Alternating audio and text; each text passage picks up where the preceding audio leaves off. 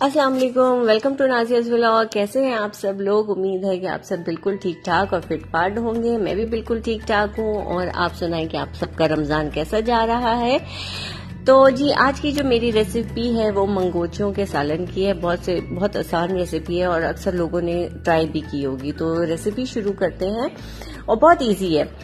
Recipe शुरू करते हैं। इसमें जो है हमें मूंग और मसूर की दाल चाहिए। दोनों बिल्कुल इक्वल इक्वल होनी चाहिए। मैंने आधा कप मसूर की दाल ली थी, आधा कप मूंग की दाल ली थी।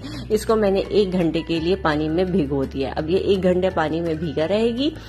और इसमें हम जो है एक टीस्पून लाल मिर्च, एक टीस्पून नमक और एक चुटकी जो है वो हम मीठे सोडे की लेंगे, ठीक है?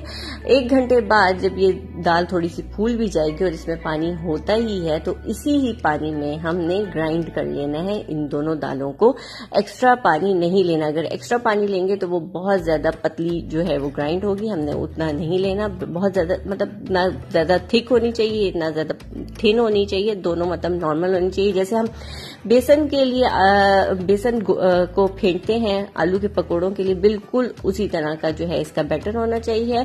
ये देख लें आप बिल्कुल सॉफ्ट सा बैटर बन गया। अब हमने इसमें ये जो तीनों चीज़ें हैं वो मिक्स करनी है। अगर आप चाहते हैं तो ग्राइंड करते वक्त ही ये चीज़ें डाल लें या फिर बाद में इस तरह जो अलग से जो है वो ग्राइंड कर लें ठीक है? इसको अब मैंने इस तरह से ग्राइंड कर दिया, सब कुछ कर दिया, इसमें मसाले कर दिए, सब कुछ करके अब मैं इसको अलग कर दूँगी। अब हमने ग्रेवी बनानी है। तो ग्रेवी के लिए मैंने एक अदद प्याज लिए दो टमाटर लिए और आम मसाले, लाल मिर्च, नमक और धनिया पिसा हुआ, जो कि हम सालन में अक्सर डालते हैं। आप अपनी टेस्ट के हिसाब से लेंगे। एक प्याज मैंने इसलिए लिए क्योंकि मैं बहुत थोड़ा सा सालन बना रही हूँ। आप इसको ज़्यादा भी कर सकते हैं। जैसे आप अपने घर में शोरबा बनाते हैं, उसी तरह ही ये भी बनेगा। तो इसके लिए हमें सबसे पहले हमने ऑयल लिया मैं सर अब शोरबा बना रही हूँ ग्रेवी बना रही हूँ। तो इसमें मैंने एक अदर जो प्याज काटती थी, वो डाली है और इसको मैं जो हूँ ब्राउन कर लूँगी ब्राउन सा। और उसके बाद हम इसको ग्राइंड कर लेंगे। जैसे कि हम ग्रेवी बनाने के लिए करते हैं। अब देखिए, इस तरह से हमने प्याज कर लिया अब मैं इसको ग्राइंड कर लूँगी। साथ में मैं टमाटर भी ग्राइंड कर लूँगी। और एक टमाटर और प्याज की प्यूरी बना दूँगी ठीक है? ये मैंने ग्राइंड कर लिया है। आ, अब इस इस स्टेज पे जब सारा मसाला ग्राइंड हो गया तो मैंने आ, मसाले डाल दिए नमक लाल मिर्च और पिसा हुआ धनिया जो आप अपने हिसाब के मुताबिक अपने टेस्ट के लिहाज से डाल सकते हैं जो आप अपने सालन में डालते हैं। अब हमने इसको भूनना है। और साथ ही मैंने जो है ना ऑयल गर्म करने के लिए रख दी है, जिसमें मैं मंगोचियाँ बनाऊँगी।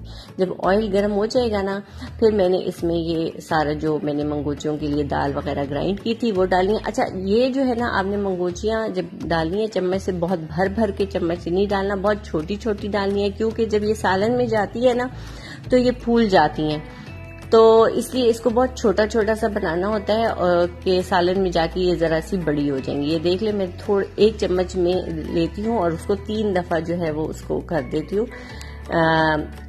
ताकि वो छोटी छोटी सी बने। बस इसको हमने थोड़ा सा गोल्डन करना है और अलग प्लेट में निकाल लेना है और यहाँ जो है हमारी ग्रेवी का जो है, वो भून रही हूँ मैं साथ साथ और ये देखिए, ये सारा जो है ना, वो गोल्डन होगी पकौड़ों की तरह जैसे हो जाती है, वैसे हो जाएँगी तो हम निकाल लेंगे, ठीक है? मैंने, ये देखिए, यहाँ मसाला जो है, ये भुन गया है और मैंने काफ़ी ज़्यादा जो है, ये मंगोचिया बना के रख ली थी अलग प्लेट में। अब जब जैसे ही मसाला ये भुना है ना तो मैंने इसमें एक गिलास के करीब जो है, वो पानी डाल दिया है। आप अपनी ज़रूरत के मुताबिक जितना पानी चाहते हैं डाल दें, क्योंकि ये पानी थोड़ी देर बाद जब मंगोचियाँ डालते हैं ना तो सालन जो है वो गाढ़ा हो जाता है।